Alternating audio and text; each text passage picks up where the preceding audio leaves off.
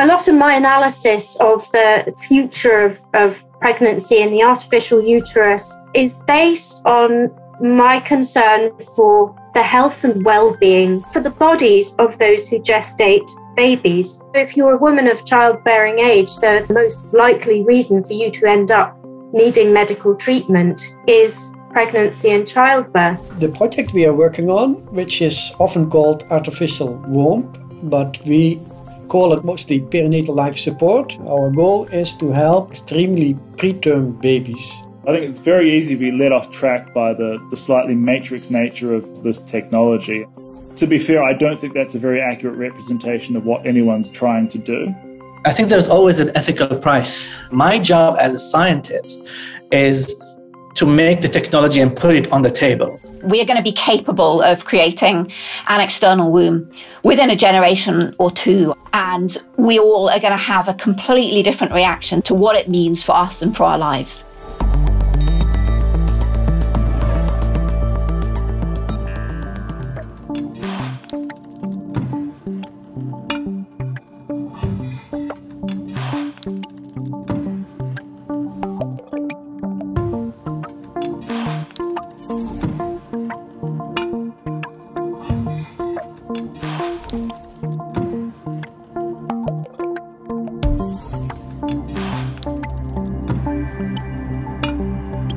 Essentially, what we do is we connect some very thin tubes or catheters to the umbilical cord, and we're able to reroute uh, blood through that, and that allows us to provide gas exchange to the fetus. It's driven by the fetal heart. We're able to oxygenate the fetus, uh, but without needing to use the lungs to do that. We use the, the heart of the uh, perinate itself to pump around in the blood. So it must be a very dedicated small device, which is a technological point of view quite complex. So our project is dedicated to simulations. We do computer simulations. So we mimic the uh, the perinate by developing robot kind of uh, mannequins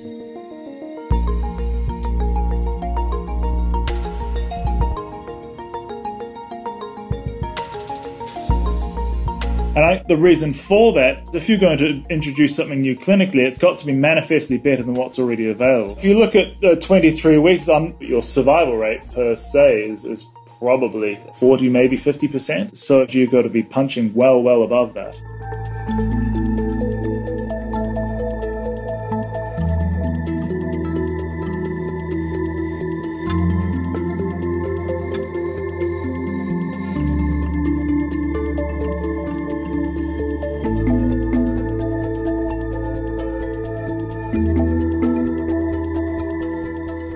We are already trying to work on other animals that have similarities in the shape of the embryo to humans. And one of those is the rabbit, actually. And I can report that we are very, very successful with very minor adaptation to do that in rabbit.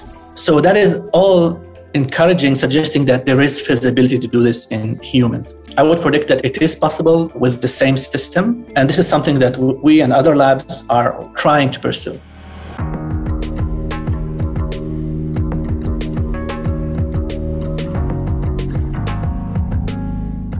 I imagined an alternate reality where the invention of a portable external womb has been widely accepted throughout society. I worked as a bioengineer myself, so my background is as a scientist, um, and I suggested this as a solution it can save the lives of premature babies. It can be life changing for people who wouldn't otherwise be able to have a child in all sorts of ways. But there are also some huge questions. If uh, technology replaces traditional pregnancy and childbirth, then who owns that technology? Who controls its use? Who is it going to be for? Is this something that could be forced on people? People with a uterus are generally expected to be the ones that carry pregnancies. If artificial uteruses were available to everyone. Yes, I think it could really make a difference to sort of gender roles. On the one hand, maybe we would just see a much greater fluidity, but I do think it's possible that we might see things go the other way. We still live in societies where women come under heavy pressure to fulfill certain social norms and expectations. What makes the revolution is not the scientific development in itself, it's the, the social response to that. a technology like this, if it's developed to the point where we can gestate a baby for the full length of term outside the human body, then viability begins at conception.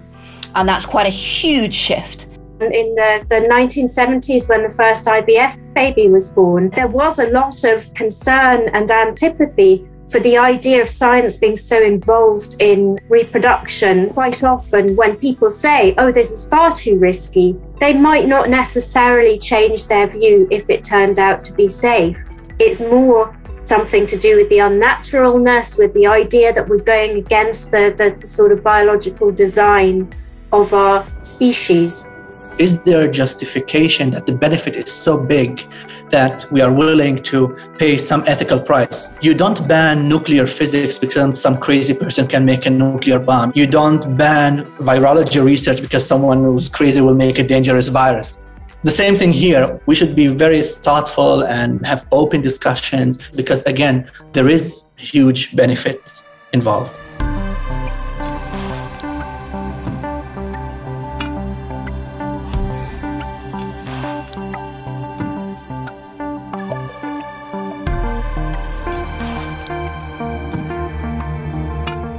You also have to be mindful of the incredibly complex nature of running one of these systems. You need a large number of extremely highly trained individuals and um, fairly vast resources to run this system. You would be much better spending money on things like education and access to all sorts of medical support and childcare and all of those other things that are fundamentally important.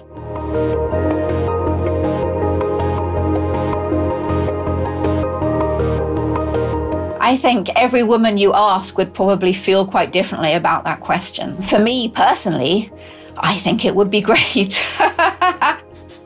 um, for a lot of women, it would be a, a heartbreaking loss. One of the things that's really important is that women play an essential role in the development of this technology so that it doesn't become the patriarchy choosing what's going to happen to women's bodies. It has to be about individual choice.